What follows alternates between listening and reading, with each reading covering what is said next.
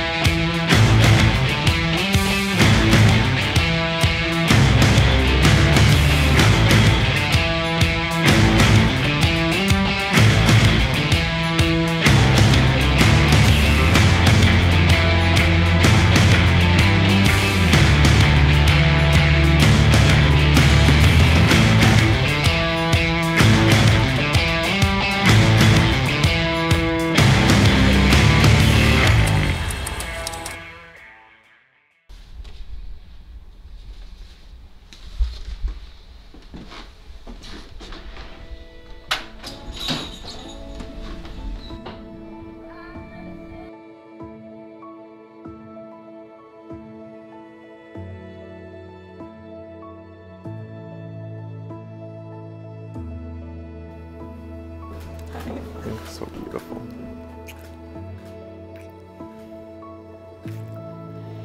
You put on Sarah B for me. Mm-hmm. Cheesy. bitch. oh, I love the green tie. Mm-hmm. It's definitely the vibe. Hmm. Good job not crying. Don't I cried when I read your letter. what a little bitch for making me cry. oh no. Thought I, had, I thought I had more time. I literally referenced Modern Family in my letter to him, which is so dumb, but it is what it is. Today, when I was watching Modern Family, this quote from Cam talking about Mitchell stood out to me. There are dreamers and there are realists in this world. You'd think the dreamers would find the dreamers and the realists would find the realists, but more often than not, the opposite is true.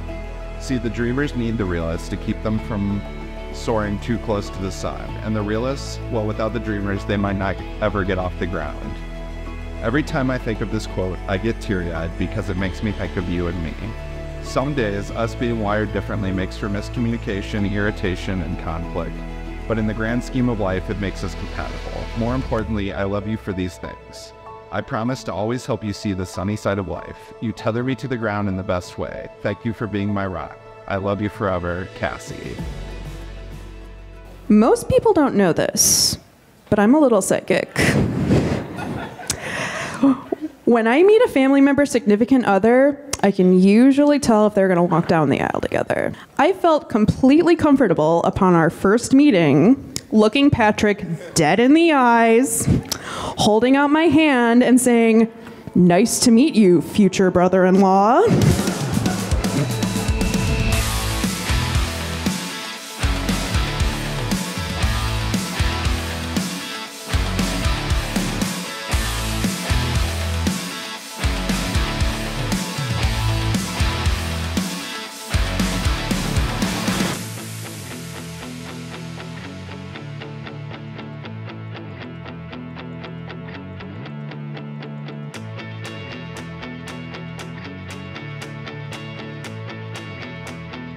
Patrick and Cassie, look at one another now and look out into the room of people who are here to love and support you.